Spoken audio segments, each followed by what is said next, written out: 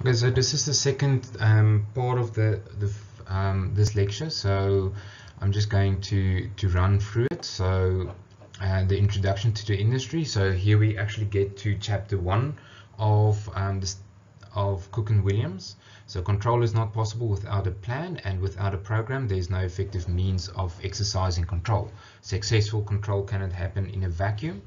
Nothing is typical um, about the construction industry and one of the big problems in construction is the extent of separa separation between the design and production.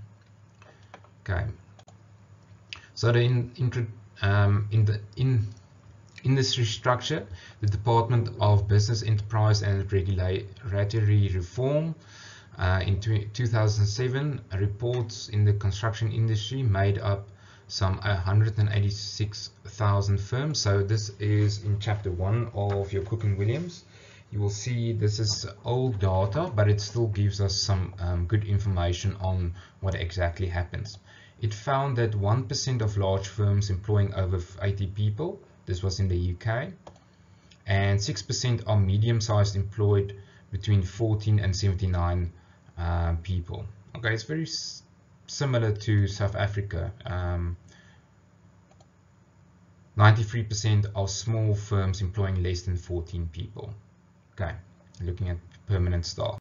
So what I've done is I've just uh, took this from the construction industry report of 2017. I think uh, this was the latest one. I haven't published one now recently. Um, I think uh, they indicated that there will be one um, in this year um, just to update the industry. So I just wanted to highlight some items here. So if you're a registered CIDB graded contractor, this is more or less the categories.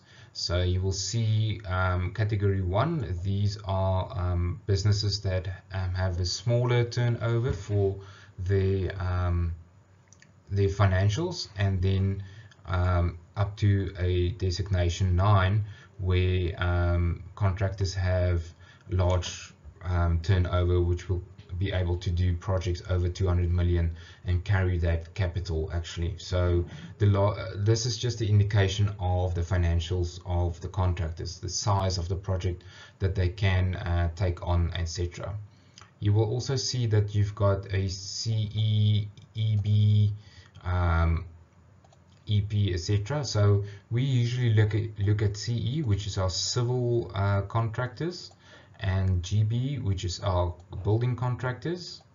Then you've got your mechanical specialist glass works, electrical, and then there's a couple of others that's not listed here. But it's interesting to see the um, we've got quite a lot of civil contractors and also a lot of building contractors. Okay and you will see there's a lot of uh, new contractors coming in and only a couple like your um, old group fives which you had um, your Raubexes, uh, um, Rubicons and those uh, although yeah I'm not sure about Rubicon whether they fall within this uh, in which categories they fall but these are your larger more well-known uh, companies uh, and you can see how um, the distribution looks. So it's very similar to the British um, feedback that we had there on the first slide. Okay, and then it's just broken down into uh, the Eastern Cape, Free State, Gauteng, etc. And you will see that Gauteng by far is the highest, followed by the Western Cape. Although the Eastern Cape is higher, Western Cape is actually not that much of up and coming uh, contractors, but interesting if you go to the larger contractors, the Western Cape has um, quite a lot uh, over other provinces. So very interesting inf information that you can source.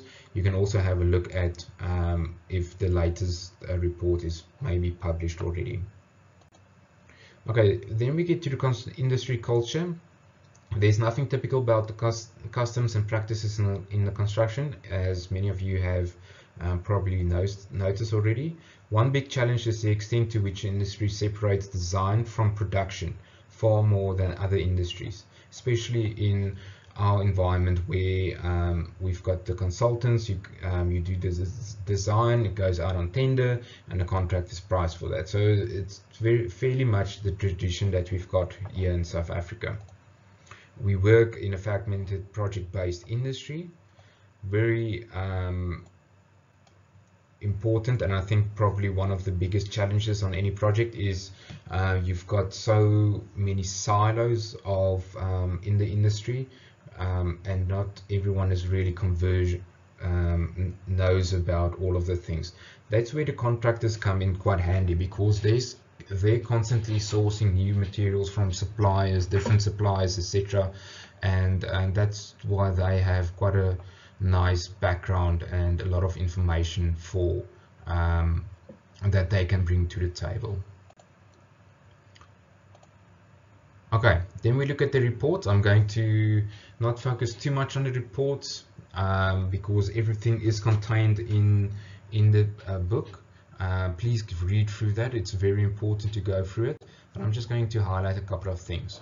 So from the Latham report, which was done in two, uh, 1994, you can see that mistrust between participants is um, something which they highlighted.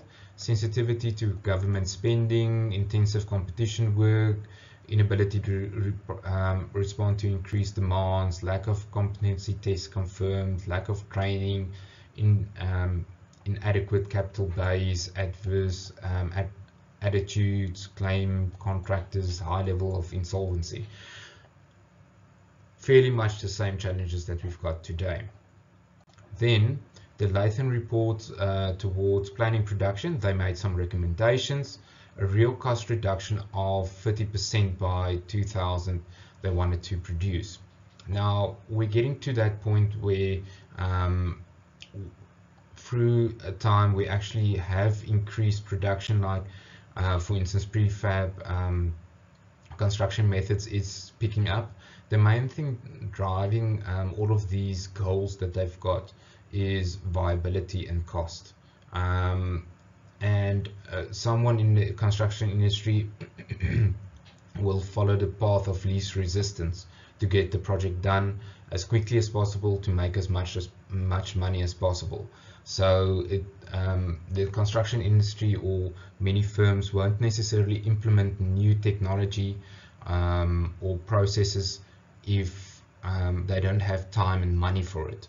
So um, that's much of the time a, a reason why um, the construction industry progresses so slowly because it it's a risk that everyone has to take because you can imagine if you have to take a risk on uh, building uh, on a 30 million building and if you've um, decided to go lightweight steel and now suddenly you have a challenge later on which might even cause that the project um, or the building cannot be occupied, that is a major risk to the contract um, client, to the contractor, to everyone involved, because who's going to take responsibility for that?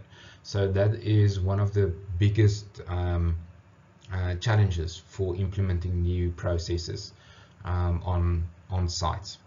A good example of that is, for instance, if you um, look at lightweight steel um, homes in South Africa, most uh, clients or home owners won't necessarily take that risk because is it going to have the same lifespan as a brick and mortar one?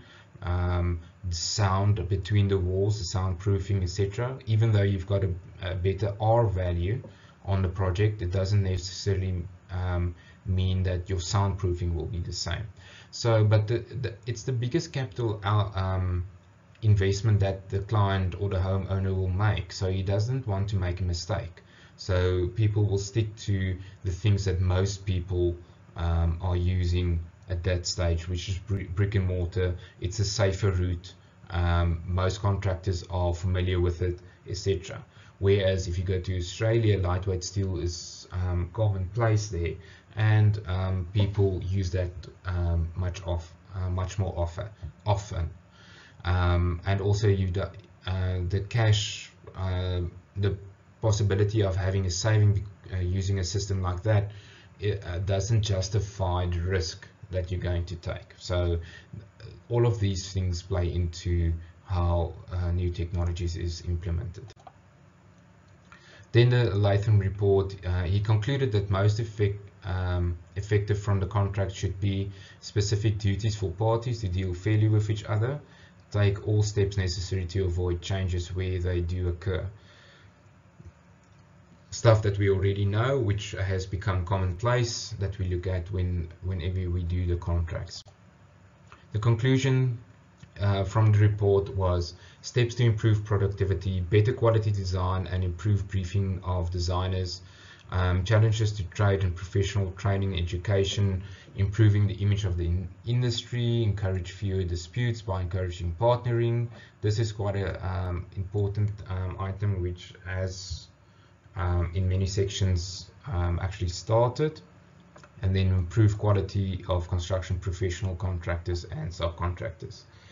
Uh, publication of report from 12 working groups and and device uh, diverse groups. So yeah just this last point is not that important. It's just basically um, looking at the 12 groups um, of um, of the industry home building civil engineering etc etc then we look at the Egan report which came four years later um, and it was a shorter report um,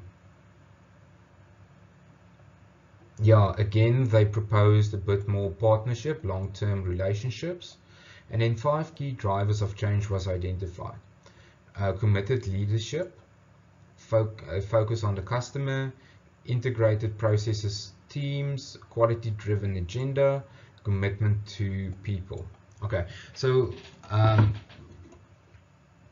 I think with BIM coming in um, and the processes of design um, the design processes and the ability to share more information um, easier between the parties, we actually are achieving some of these um, items identified, um, but it's still a long way to go. Then there was a second Egan report, which was published in 2002, and then they highlighted the need for, uh, for the client uh, leadership uh, the need for integrated teams and supply chains and people issues, health and safety became uh, quite important at this stage. Um, emphasis was still on collaborative um, collabora collaboration between the parties. The report suggested five steps for clients when considering a build. Verification of the need, assessment of the options, development of a procurement strategy. This might seem um, as if it should be in place, but not everyone has a procurement strategy really in place. Procurement uh, or project delivery, project uh, review. Uh, again, that's the closeout um, section where you actually have a look at what did we learn from this project? How can we implement it into the next um, next project? The challenge is usually the project team um, goes to different sites and it's not necessarily the same project team that works on the next project. Okay, then the National Audit Report. Okay, then this is um, just very interesting to see. 73% of construction projects of government were over budget. 70% was late. The main reason, adverse relationships that exist between the construction firms. Long-term collaboration eh, was emphasized after this report. So this is from the UK. So um, I think uh, this third point is um, not really, um, it's less applic applicable uh, in the construction industry, but um, these percentages I think is fairly close to what we've got in South Africa. Okay, then I just posted a little break for, for the lectures.